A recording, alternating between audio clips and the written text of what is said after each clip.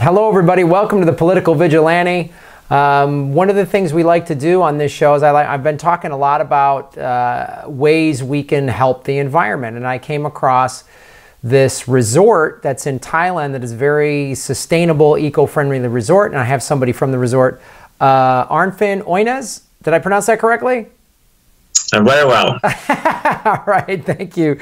Um, thank you for taking the time. I know it's, uh, I think you guys are about 14 hours ahead. Um, so th thank you for taking time out of your day. Why don't you tell everybody the name of the resort um, and basically its inception, why it was created, and, and kind of give us an overview of what the resort is and what it does in terms of its uh, um, eco footprint.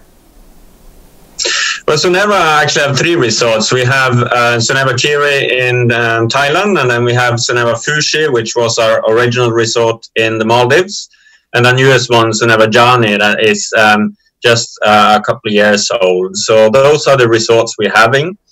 Um, and, and if we take it back from the beginning, um, uh, was, was actually came by by an accident. Um, our, our, founders, Sonu and Eva, uh, they were um, uh, in principle then a young young couple wanting to to um, build a dream dream house, uh, and um, Eva took uh, Sonu to uh, to the Maldives to show where where the dream location uh, would be, and, and uh, both of them fell in love with it uh, and wanted then to build a house, but that was not possible because of legal restraints uh, that you couldn't build a house as a foreigner.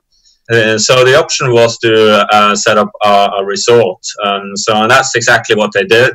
They um, found a, a, actually a resort company out of Thailand that they bought, and then eventually built um, Soneva Fushi that they opened in 1995. And since then, um, they have, have, grown. They also founded and started Six Senses, um, uh, and at the time they had um, 14 resorts and about 26 spas. Um, but then decided to, in 2012 to focus on the the main uh, and the the high, highest end brand, which was really their the brainchild of of, um, of um, and, and sort of the Six Senses brand, and and um, and concentrated on Soneva, and that's where it is now with with the three resorts. Okay, and so what were the resorts always um, this uh, environmentally friendly or aware from the beginning, or is that something that came on sort of later?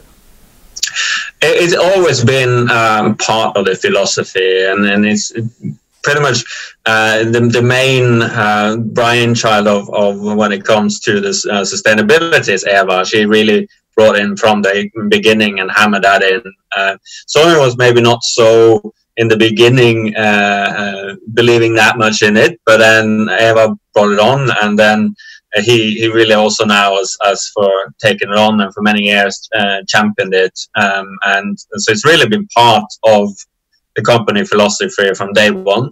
Um, I would say, of course, things have evolved. Uh, we've learned and become better at doing things. Um, and so it's it's it's a journey. It's always a process of getting better and better and doing things more sustainable.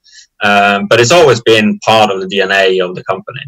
Oh, so tell us specifically what your resort does that is so sustainable compared to, let's say, a regular hotel or resort. Well, our resorts take uh, a holistic view and, and, really trying from from the planning in the beginning, uh, the development, uh, integrating to design that we uh, uh, focus on choosing materials that are sustainable. Um, use a lot of natural uh, timber, all um, most of them fast growing trees, um, and and coming from sustainable plantations. so that's an important aspect. Um, a lot of design also is built around um, having open spaces. Um, so um, we are operating in tropical environment, which which leads a lot of heat and often requires a lot of cooling. Uh, we minimizes the, the cooling requirements to mainly be around the, the, the bedrooms, whereas we have uh, open living rooms. We have often have um, 100 square meter big open bathrooms um, and where you can take an outdoor shower under the the, the moonlight. So so that's uh, an important part of, of reducing the, the energy consumption. Um, we have also focused a lot lately on, on moving towards renewable energy, installed um, solar panels at, at Soneva Fushi. Um, and then also we take very much serious how we deal with our waste. Um, we have a, a, very strong focus on on um, recycling our, our, waste. We recycle about 90% of our solid waste uh, and have found a lot of innovative ways to uh, take care of our waste because we operate in remote areas uh, which doesn't have access to to uh, sound um, waste facilities. So we have a lot of it we have to do ourselves. Um, another thing we did um, over a decade ago was to ban all imported water. So we only did um, only do now um, uh, our own produced water, still and sparkling, uh, all with glass bottles. So there's no plastic bottles in our resorts. Um, we've never actually or hardly ever used uh, plastic straws. This was banned, I think, after a couple of years of operation, uh, plastic straws were banned. So back in '97, uh, the straws, uh, plastic straws, were banned. So it's something that we've done for for a long time, um, and and we do do a lot of things. Um, we have also a very strong focus on on measuring our impact. So we have uh, for many years we have measured our, our carbon footprints, uh, and there we not only look at our direct emissions through through our energy consumption, but we also look at indirect. So bringing um, products to to our property, uh, the guests flying to to our resorts, uh, we take into consideration, um, and and that's something we we also then have um, put forward practices through the Soneva Foundation to mitigate. So we have since 2012 been operating carbon neutral. Uh, that's also including the guests flying to our resorts, uh, which is quite unique that um, we, we consider our indirect emissions. So how does that work then? The the offsetting of you know people flying to your resorts by airplane. How how specifically does that work? Well, we have um, since 2008 we have uh, put uh, environmental levy on our our guests. So two percent of our room revenue is charged um, to what we call our environment fund. We channel this through the um, Soneva Foundation, and the Soneva Foundation invests in uh, various carbon mitigating projects. Um, we have uh, done a, a carbon um, or um, uh, forest restoration project in Thailand where we planted about half a million trees. Um, we have done um, a cook stove project in, in, Darfur and are currently doing a cook stove project in Myanmar um, in which we're generating um, carbon credits and all those those projects are um, uh, are carbon mitigating projects that then we offset towards our uh, our uh, emissions, including, I guess, flights, and which we we calculate.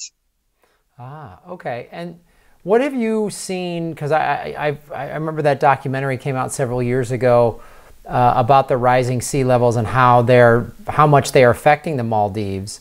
How have you at the, the resort that you have the Soneva resort in the Maldives, how have you seen the impact of rising sea tides on your resort and the community around it? Well, we do see that there are more um, uh, pressure on, on, on, the beach and in terms of uh, beach erosion. Uh, another challenge is, is you have had several uh, bleaching events, so coral bleaching, uh, which is uh, negatively impacting us, in, especially in terms of, of experiences. Uh, there's um, pressure on the, the reefs. Um, uh, and that's that is something a lot of our guests come to to see this, uh, the marine life.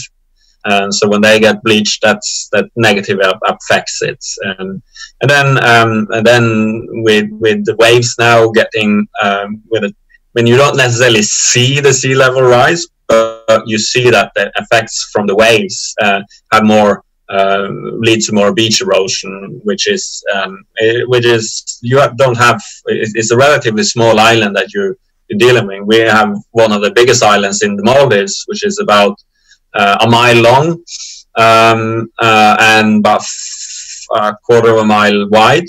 Um, so it, it's not big, big. And then when when you stand starting with more uh, erosion, that is is um, something uh, that is is challenging, and we can see that for other islands, smaller islands, there is much more of a, uh, uh, challenge for it. And we've had some islands uh, in the Maldives where the local population had to to relocate. So it is certainly impacting the country.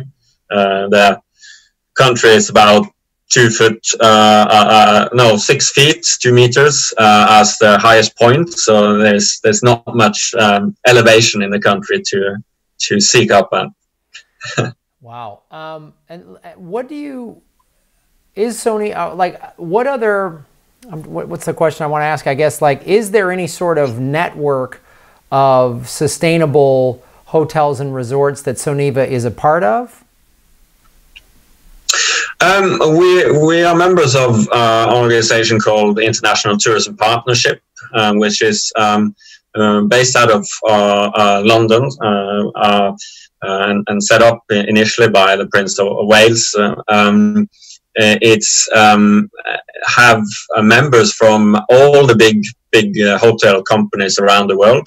it's about thirty thousand rooms, I think, is a total um, so or hotels. Uh, so it, it's a it's a big organization that, that brings the big big brands on, and we in that respect are a small player in there. But what we can bring to the table is is our voice and our our way of, of trying to to get an influence, and and organization have gotten the industry. Uh, or those members to agree on four uh, key principles, and one of them is is on uh, science-based tar carbon targets, which is critical for dealing with, with climate change. This is now we'll see the big companies working on that. Um, more locally, we also are, have uh, collaboration with uh, fellow resorts in the uh, in the atoll that we, we are based. We have we are part of our organization called BARE, which is um, really the resorts within the atoll that, that meet on a, on a regular basis and discuss uh, challenges that faces um, uh, that we face locally. So that's also a way of collaborating locally on and also on the international stage. So, um, how how much how much change or impact have you seen Soneva having on these other resorts, and and what do you sort of uh, see the future of this since we've gotten this this newest report from the UN that says uh, you know the planet's temperature is rising by even more than uh, two degrees Celsius. What what what do you see? What changes have you seen that are a positive view, and and what other efforts do you think need to be taken within the the hotel industry? Well, well, one simple measure that we've seen. I mean, uh, in 2008, we, as I mentioned, we uh, stopped uh, all our, our imported water and produced all our uh, drinking water ourselves um, and, and put them in plastic bottles, no, in, in glass bottles. And that's something that at that time was unheard of. And like uh, there was no, no, could not be doing. We needed to, to have branded water and we needed to have imported water. And um, and uh, over the years, we've seen more and more companies uh, um, follow that practice, and, and now it's almost like everyone does it. It's um, um, a lot, a lot of companies do take part of it. They might not necessarily do absolute all water, but they certainly still uh, many do have a plant and focusing on using glass bottles. Um, so that has been something that we've seen. Is, it's a way of influencing on on doing. And we uh, we were also part of funding and setting up an organization called Whole World Water that then uh, we were trying to um, copy a bit what we were doing, getting other hotels to, to copy what we're doing by producing our own water and also give some of um, the proceeds to uh, water project. And then we, as a small company, has been been able to help uh, about 750,000 people get access to uh, safe, either safe drinking water or basic sanitation. Okay. Well, uh, I really appreciate you taking the time and, and opening our eyes to what um, can be done just at a resort, how people can impact and change their own business is something I talk a lot about on this show to all of our viewers. I say there's little things you can do, and I always say like if you run a business, if you go to a like support. I always say like vote with your dollars. So support uh, businesses such as yourselves and the and the other business. You go to restaurants and all that stuff. You can petition them to say. Uh, no more plastic bottles, no more straws, no more single-use plastic. That's like a huge issue we've we see out there. Um, so uh, I will put to everybody watching. I will put the Soneva website in the show notes so people can go to the website and, and check it out and get more information. And if you're thinking about booking a trip, I would suggest using a resort that's very sustainable like this one. Is there anything else you want to leave with us or anything people can do um, before we go? Well, one thing I wanted to, to add, I mean, is, is we operate obviously in, in the very high end uh, category, and there are often we get criticism where how can luxury and, and sustainability go together. I mean, for us, uh, we view it in a different way as saying that often that the most luxurious experience is the most sustainable experience. Mm. Uh, our one, a lot of our focus is on, providing great food for our guests, and we are known for having fantastic food outlets and, really great uh, uh, top top uh, and um, uh, food experiences, and how we can achieve that uh, in the middle of the Indian Ocean, where you often rely on a lot of imports, is that we grow a, a lot of our own uh, vegetables and salads and herbs. Um, and and what is isn't fresher and better for a chef to cook from things that has taken directly from the ground, and that's and what isn't more sustainable. So that is something we get a lot of praise from our guests, uh, and there is an example where the most sustainable experience is the most luxurious. So getting a freshly picked salad uh, that you um, prepared by a, a, a top-notch uh, chef, that's something a rarity that you might not get in even in a in a city environment where often the vegetables have traveled two three days before they are served. So, so those those things um, are ways of, of, showing that you can actually be very sustainable uh, and at the same time providing fantastic and luxurious experiences.